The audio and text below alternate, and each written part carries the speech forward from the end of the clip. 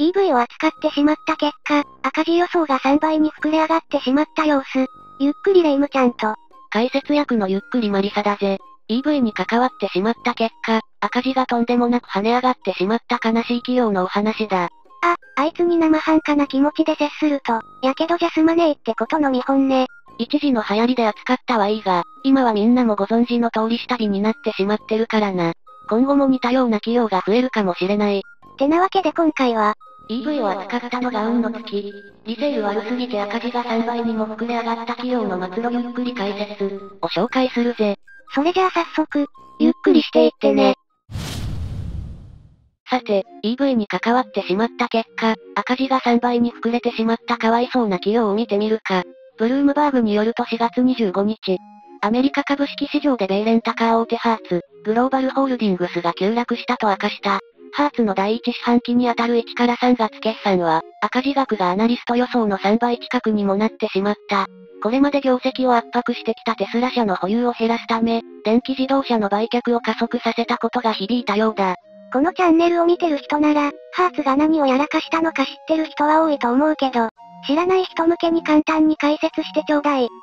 そうだな。簡単にハーツがこれまで何をやらかしたのか説明しといた方がわかりやすいな。そもそもこの話題が世に出てきたのは今年の2024年1月だ。1月11日にハーツが、約2万台の電気自動車の売却を決定したと発表したことが発端だな。これは、当時ハーツが所有する EV の3分の1に相当し、この売却は、2023年12月から開始しており、2024年中には全ての EV 売却を完了予定とのことだ。そして何が本末転倒かって、この売却収益の一部はガソリン車の購入に再投資する予定なんだ。また売却用の EV は、売却されるまでの間は、レンタル用として使用されている。せっかく、流行りに乗ってエコなベブを購入したっていうのに、その売却益で、再びガソリン車を買うなんて、どんなギャグなのかしらって感じよね。そもそもなんでそんなことをしたのかというと、EV の収益性が当初想定してたものより低かったからだ。2021年10月にテスラに EV10 万台を発注しており、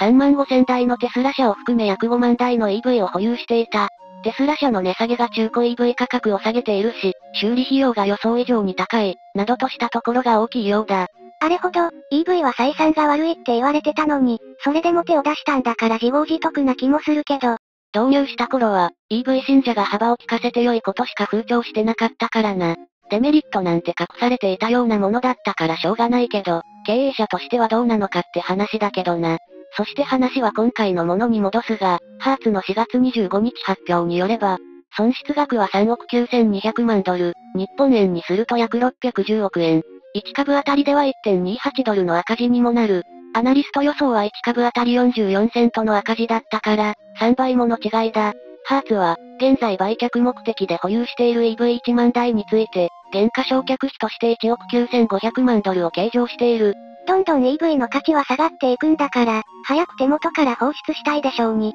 でも、一気に放出したらさらに市場価格が下がってしまう負のスパイラルが。ニューヨーク市場でハーツ株は一時25%安の4.35ドルと、上場来安値を更新した。ハーツ最高経営責任者は、保有する EV の数を適正化し利益への打撃を減らす上で、当面は苦い薬を飲むことも厭わないようだ。EV は従来のガソリン車よりも修理費が高いほか、テスラによる値下げで価値が低下している。今は耐え忍ぶしかなさそうね。EV に手を出したツケはでかい。ハーツ最高責任者も2024年について、移行の年だと述べた。ハーツは第一四半期に125の拠点を閉鎖。うち多くは空港以外の不採算拠点だった。EV の売却には時間がかかる見通しだ。つまり、ハーツは過去2年間に行った EV への失敗した大きな賭けの巻き戻しに今年の大半を費やすことになる。ハーツは2021年10月にテスラ車を10万台発注。価格が安定して推移し、消費者の EV 需要も増えると想定していた。だが全く逆のことが起こった。現在ハーツは、年内に3万台の EV を売却すべく取り組んでいる。しばらくは、この EV の判断ミスによって成績を圧迫しそうな気がするわね。さて、この話について世間の反応はどんなものだったのか見てみよう。米国における EV の価値を如実に示している。ハーツは米レンタカー大手であり、リセールにおける価値低下は見込んでいたと。思うが、予想を上回る価値下落と売却期間の長さを今回の決算に織り込んだのだろう。米国における EV 販売の原則は一時的なものではなく、今後も継続すると見るのだとだろう。EV の復権、復活にはバッテリーの技術開発が大きな鍵を握る。テスラを筆頭に、長きにわたり使うことのできる EV の開発が待たれる。品質が最大の課題であり、価格が主要な問題ではないのである。ハーツは全く踏んだり蹴ったりですね。しかし、EV 車のリセール益が低いことは当初から想定されていたことだったはず。自業自得とはいえ最初は国営政策に乗って儲けを見込んだのがあだになりましたね。世界が今の EV の現状を正しく認識していれば、今後、タイや欧州に進出著しい。中国バイブも同様の経過をたどり、EV の在庫の山が積み上がっていくことが予想されます。レンタカーとして運用中も新車価格がどんどん値引きされ、中古車価格も期待できない。修理は対応しないし、諦めて次を買えと説得される始末。同ビジネスとしての肝が損なわれてる車を大量購入すれば、そりゃ大赤字にもなるでしょうね。オークション相場見ると、EV は買った瞬間に価値が60%くらいに下がる。1、2年落ちのピチッピチの中古車でも40%くらい。中古車相場を支えているのが、二次需要である国内ユーザー。3時4時以降のユーザーは途上国に輸出されており100万キロくらいまで使用される。二次ユーザー時点で信頼を失っている車はリセールが極度に低い。そういう車は淘汰されてきた。リセール激悪だがベンツや BM 等のブランド力の高い車は除いて、大衆車はリセールが非常に重要。数年で一般の人にも化けの皮が剥がれる。中国でも EV の販売台数が鈍化しているという現確か、最終的な利益は前の年の同じ時期と比べると55%減少したやつね。11億2900万ドル、日本円でおよそ1700億円とかなりの減益で驚かせていたわね。そうそう。それに焦ったテスラは手頃な価格の車、第一四半期の1から3月の業績が再び、市場予想を下回ったことから、低迷する需要のテこ入れを目指す形だな。テスラは今年末か来年の早い時期までに、より安価なモデルを投入する計画で、以前に表明していた2025年後半からはかなりの前倒しとなる。そんなことして、また不要とか色々でまくったら、大幅リコールでさらに経営がきついことになりそうだけどね。イーロン、マスク最高経営責任者はアナリスト向け電話会見で、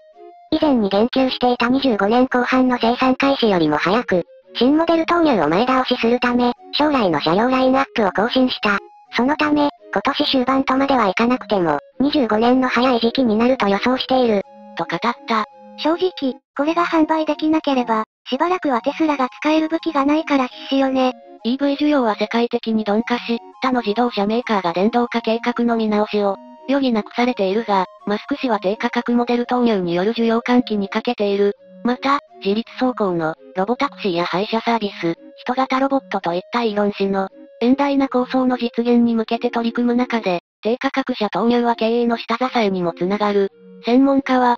重要なのは、来年成長が再加速するという希望の光を投資家が目にすることだ。マスク氏は信奉者たちに、諦めずにいるための十分なものを与えた。と語っている。つまり、このことだけでテスラ信者は、テスラは10年は戦えるってテンション上がってるわけか。より安価なモデルの投入前倒し決定を明らかにしたことは投資家に歓迎され、株価はニューヨーク時間23日遅くに一時13%の大幅高を演じた。テスラの経営戦略には今年の大部分にわたり、混乱が見られていた。販売台数テこ入れを目指してここ1年に値下げを進めてきたが、製品需要は鈍化。マスク氏がロボタクシー構想を追求し、価格を2万5000ドル、日本円で約387万円に抑えた。低価格車計画を中止したと投資家は懸念していた。もう途中までは、テスラフルボッコな情報しか出てこなかったしね。そうした中でテスラが4月23日に投入前倒しを表明した、より手頃な価格の、モデルが、長年議論されてきた低価格車を指しているのか、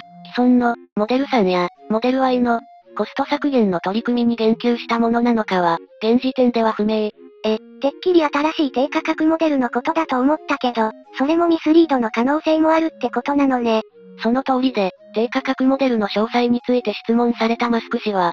その点については、もうすべて話したと思う。と答えるだけに留めている。会見に先立ちテスラが発表した1から3月期決算では、利益と売上高、利益率がウォール街の予想に届かず、年内の緩慢な成長見通しも示した。聞けば聞くほど、確かにミスリードの可能性も感じてきた。発表資料によると、1から3月の調整後1株利益は45セントで、ウォール街の予想の52セントを下回り、売上高は9%減の213億ドルで、アナリスト予想の223億ドルには届かなかった。テスラは納車のペースが昨年を下回る可能性があるとし、短期的な成長期待を抑え次のように説明した。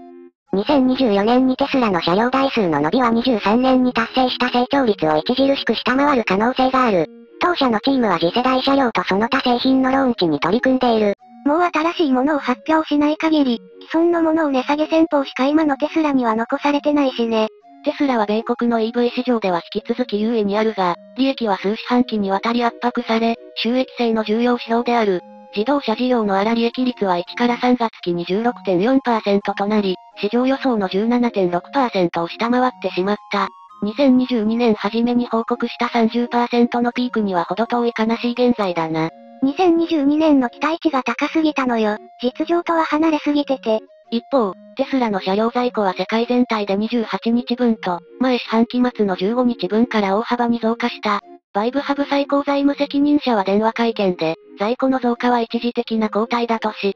第2四半期の4から6月には在庫積み上がりが反転し、フリーキャッシュフローはプラス圏に転じると予想している。このように述べている。そんなにうまくいってくれるかしらねさらにテスラは世界的に、EV 販売の鈍化の影響で30万円の値下げを行っている。テスラは4月19日、北米で値下げを発表。モデル Y、モデル X、モデル S の価格をそれぞれ2000ドル、日本円にすると約31万円引き下げた。欧州最大の市場、ドイツでもモデル3の価格を3000ユーロ、日本円にすると約33万円引き下げている。続いて4月21日、中国市場でも4車種の価格を1万4000円、日本円にすると約30万円値下げ。中国市場では補助金が2023年末に終了したことや景気減速により、欧州及び、日本車メーカー30社以上の値下げ競争が激化しており、今年も落ち着く気配は見られない状況だ。ますます、安さで中国勢に押される未来しか見えない。ちなみに EV 世界販売首位となったバイブはどうなのかっていうと、中国の1から3月期の EV 販売台数は前年同期と比べ13%増の30万114台だった。2023年10から12月期はバイブがテスラを上回ったが、2024年1から3月期はテスラが再び EV の世界販売で首位となった。そんなところでテスラがバイブに勝ったとしても、この勢いはもう覆せなさそうよね。そのためテスラとしてはさっきから話している、利益率低下や販売不振に歯止めをかけるための安価なモデル。価格にすると2万5000ドル。日本円では約387万円モデルを早く投入したいようだな。それすらも、本当に新型のモデルなのかはわからないってのが怖い。ただ、中国メーカーに比べると、テスラの値下げ戦略はまだまだ足りないと言わざるを得ない。ちなみにバイブは2024年モデルへの切り替えとともに、ほとんど全ての車種で最大125万円級の大幅値下げし、最安のエントリーモデル、シーガルは5%値下げされ6万9800元。日本円で約147万円という驚異的な価格に設定してるので、テスラが今回の値下げで販売が挽回できるか懐疑的だ。値下げ幅が違いすぎて勝負にすらなっていない。そんな中、テスラジャパンは、日本におけるモデル3とモデル Y の価格をそれぞれモデル30万円値下げしている。政府の CEV 補助金はモデル3ロングレンジ AWD が最大85万円だが、その他のモデルは65万円だ。スタンダードレンジプラスのモデル3を例にとると、2019年の発売以来、これまで十数回に及ぶ値上げ、値下げが行われてきてて、2022年1月時点での価格を見ると479万円、2023年1月の値下げ時では、596万4千円から536万9千円。2023年5月の値上げ時は、536万9千円から540万6千円。そして4月24日の値下げは、561万3千円から531万3千円だ。値段がコロコロ変わりすぎてて節操がないわね。さらに過去を遡ると、最大の値下げは2020年2月に行われた値下げだな。モデル3のスタンダードレンジプラスは、以前は511万円だったが、82万円値下げされて429万円になり、モデル3のロングレンジは、655万2000円から156万2000円値下げされて499万円になった。まさにバーゲンセール。それでも多分、利益を見込めるくらいの余力は残してるのだろうけど。おかげで冒頭のハーツは大損をしてるからな。最も安かったのは2021年2から4月までの429万円。一番高かったのが2022年6月17日から2023年1月6日までの596万4000円だそうだ。値下げしたとはいえ、現在の531万3000円は、最安値から見れば102万3000円高い。でも日本車ならともかく、最近は円安が拡大してるのにどうしてこんなに安くできたのかしらね。その要因としては、中国で値下げされたことが大きい。日本への輸入モデル、モデル3とモデル Y はギガ上海ファクトリーで、生産されていることもあり、追従して日本でも値下げが実施されたと推測される。したくはなかったけどしょうがなくってことか。このように、値下げラッシュが止まらないテスラなのだが、これを見てる世間の人からはツッコミが殺到している。自らの価値を下げる値下げ合戦。これは、高価な時買った人は怒るし、リセールバリューも下がる。本当に車の売り方よりスマホ、携帯の売り方に近い。リセールバリューで考えると今後絶対数が減少してしまいバッテリー劣化の心配のない内燃機関車の方が良い気がする。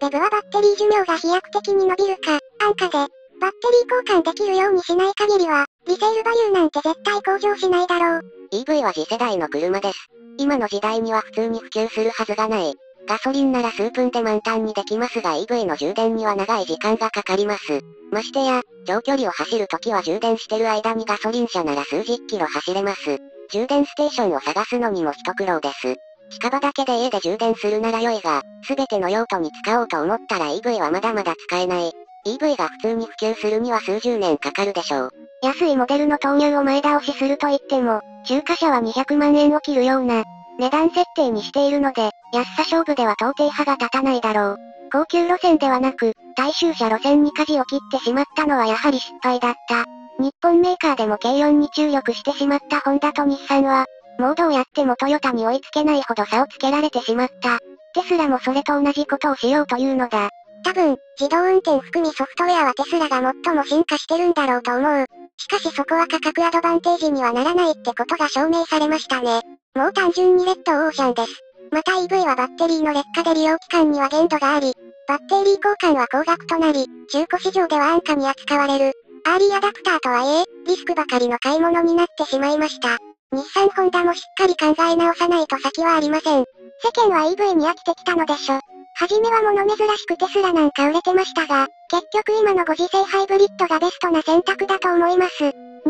三菱の軽 EV 売れてますが、そのあたりが良くて大きいのはあかんでしょ。皆さんはこの EV の価値の話についてどう思いますか？ぜひ、コメントでみんなと盛り上がってみてください。ってことで今回の動画は以上。また次回の動画でお会いしましょう。最後までご視聴、ありがとうございました。